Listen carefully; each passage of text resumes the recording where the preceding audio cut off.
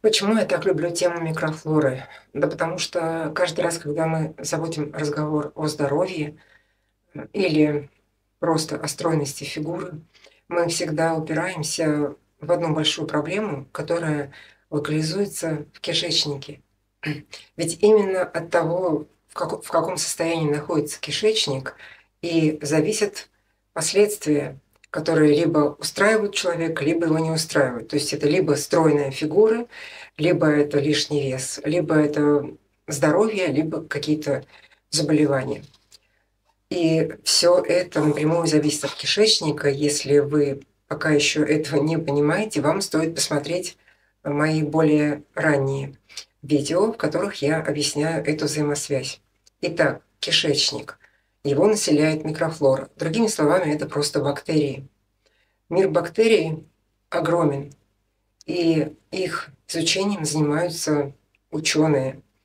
И на тему бактерий создаются целые фильмы, защищаются диссертации, и вообще очень много интересной информации, но до нас, простых носителей этих бактерий, конечно, доходит всего лишь эм, крошечная часть той глобальной информации, которая вообще есть в мире про бактерии.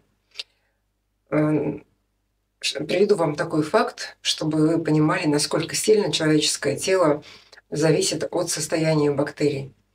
По утверждениям ученых, которые занимаются изучением э, бактериального мира человека, тело человека только на 10% принадлежит, собственно, самому человеку, а на 90% это мир бактерий, которые живут э, по всему телу, по всему организму. То есть они просто составляют большую часть э, человеческого организма. И, конечно, огромная колония бактерий проживает в кишечнике, а именно в тонком потому что именно от состояния тонкого кишечника в очень большом проценте зависит состояние здоровья человека, ну и его внешнего вида. Я имею в виду наличие либо стройной фигуры, либо лишнего веса, у кого как получается договариваться с миром бактерий. Так вот, мир бактерий, населяющих тонкий кишечник, это, конечно же, огромный мир, котором э, живут бактерии самого разного вида, но мы условно будем их разделять на две большие группы. Просто потому, что именно от процентного соотношения этих двух больших групп и как раз и будет зависеть ваше состояние.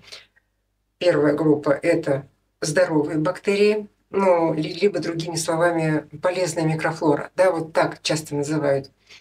Вторая группа – это патогенная микрофлора или вредные бактерии, которые э, не находятся в симбиотической связи с организмом человека.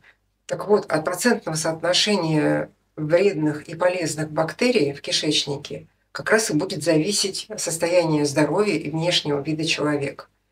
Естественно, чем больше полезной микрофлоры, тем лучше здоровье человека. И наоборот – очень часто ко мне в сопровождении приходят люди, которые уже что-то слышали про э, очищение организма, и они и приходят как раз именно с этой целью, чтобы очистить себя от патогенной микрофлоры. Э, это, в принципе, хорошее желание очистить себя от патогенной микрофлоры, но вот на этом пути у людей часто бывают заблуждения.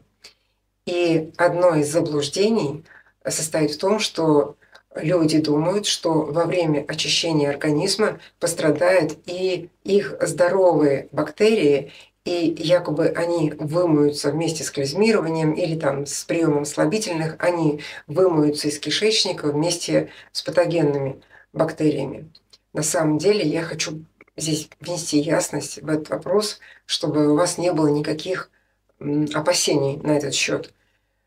Здоровую микрофлору вымыть из кишечника практически невозможно, потому что она является, по сути, составной частью человеческого организма. Полезные бактерии, здоровые бактерии, они просто помогают нам осуществлять нашу э, жизнедеятельность. То есть они являются залогом нашего здорового функционирования.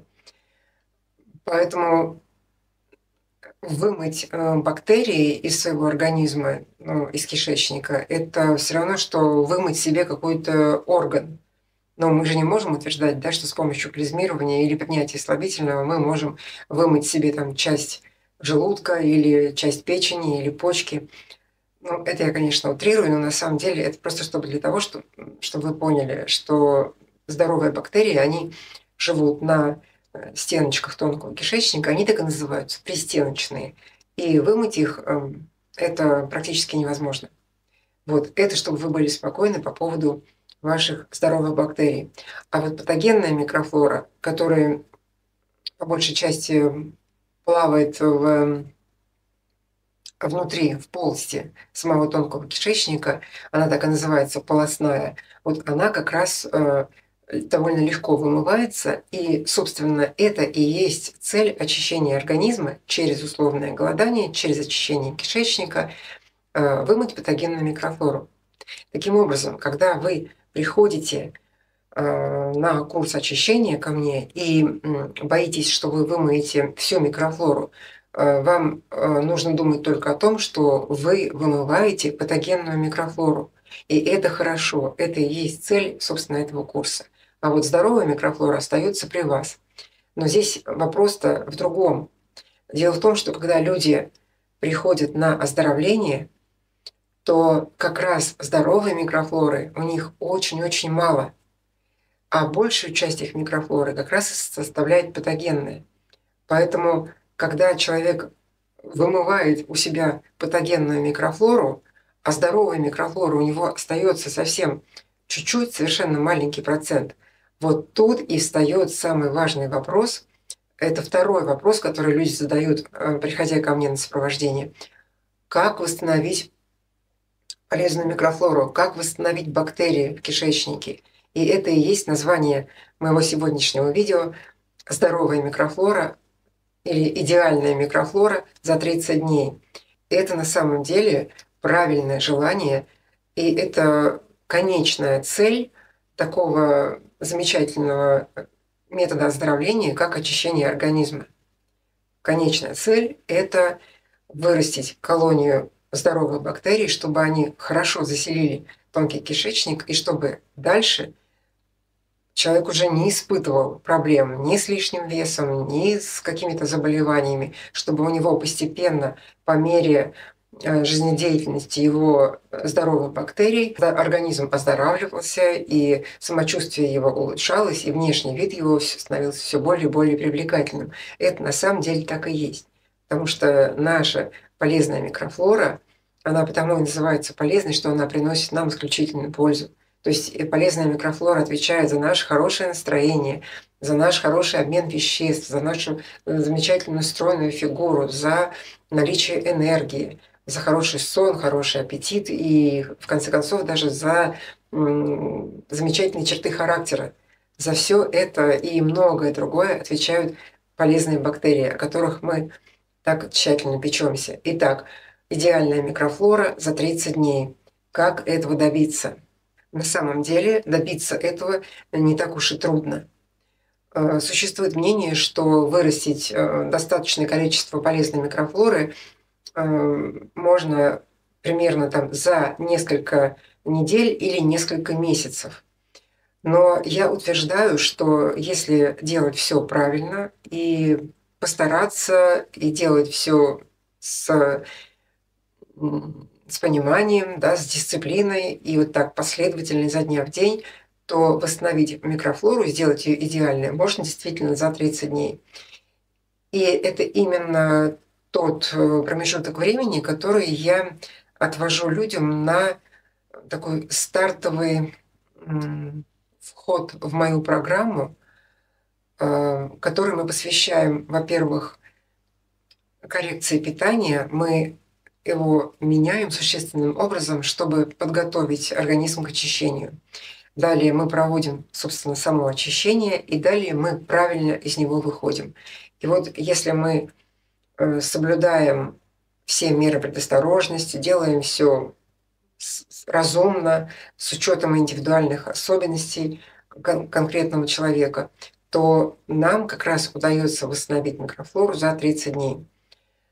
Э, когда я вхожу с человеком в рабочие отношения, ну, то есть беру его под свое сопровождение, наша с ним работа не ограничивается 30 днями. Поэтому я отвечаю и за дальнейшие последствия, которые происходят с человеком после 30 дней. Но, как правило, мы не ставим целью восстановления микрофлоры именно в первые 30 дней работы. Как я уже сказала только что, первые 30 дней мы отводим на коррекцию и подготовку человека к восстановлению микрофлоры. А вот следующие 30 дней, когда уже заканчивается этап подготовки, этап очищения, этап выхода, следующие 30 дней мы как раз посвящаем восстановлению микрофлоры. И практика показывает, что за 30 дней полезная микрофлора прекрасно восстанавливается. И вот почему. Дело в том, что здоровые бактерии, полезная микрофлора, она питается. А если она не будет питаться, она не сможет жить, правильно? Ведь это же живые существа. Чем же питаются здоровые бактерии? А питаются они сырой растительной клетчаткой.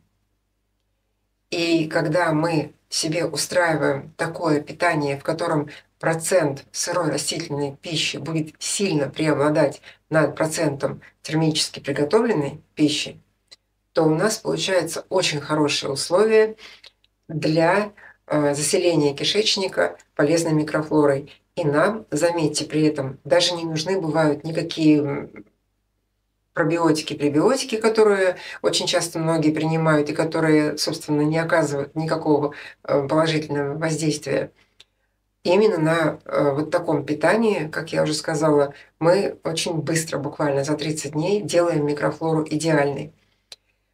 Э, с одной стороны, это может показаться простым, да, о, так это так просто, я буду есть процентов 70, например, сырой растительной пищи, процентов 30 вареной, и у меня за месяц восстановится микрофлора. Но практика показывает, что очень часто люди делают ошибки на этом пути.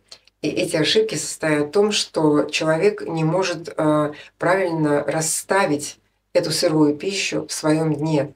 То есть у него э, сырая пища где-то чередуется с вареной, где-то у него фрукты идут вместе, вместе с вареной, где-то у него фрукты идут после вареной еды. В общем, у него получается вот такой вот какой-то винегрет, разношерстность в питании, и даже при том, что у него процент сырой растительной пищи будет больше, чем вареной, он все равно не получит хороших результатов, потому что процент это еще не все. Нужно еще определенное сочетание продуктов и определенная последовательность расстановка в дне. Вот это вот немножечко сложнее. Еще момент, э, почему может самостоятельно не получиться э, восстановление микрофлоры, даже на процент хороший процент сырой растительной пищи, это то, что э, люди часто начинают перегибать палку и э, резко увеличивают количество сырой пищи, при этом у них наступает э, такой довольно сильный дискомфорт в животе. То есть это вздутие, это, это распирание постоянное, да, газы и боли, спазмы, и человеку просто становится некомфортно жить. И, естественно, когда у него происходит вот такое, такой дискомфорт в желудочно-кишечном тракте, конечно, он э, забросит свое идеальное питание, и на его смену придет неидеальное питание, и тогда, конечно же, восстановить микрофлору за 30 дней не получится. А теперь смотрите, э, как определить, что ваша микрофлора идеальна, что у вас достаточно хороший процент здоровых бактерий, и вы можете ну, быть спокойны за свою дальнейшую жизнь, что у вас все будет хорошо, и постепенно жизнь будет налаживаться, и все будет прекрасно. А определить наличие здоровой микрофлоры очень просто. Э, показатель здоровой микрофлоры – это ваш стул.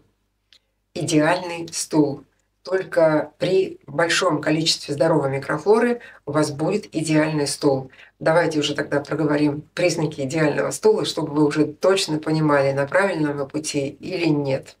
Итак, идеальный стул. Ну, во-первых, это совершенно точно стул э, каждый день утром, причем ранним утром, примерно с 5 до 7 утра – и это стул, который э, приходит сам собой, то есть он сам напрашивается, да, вы его искусственно никаким образом не вызываете, то есть это очень легкий стул.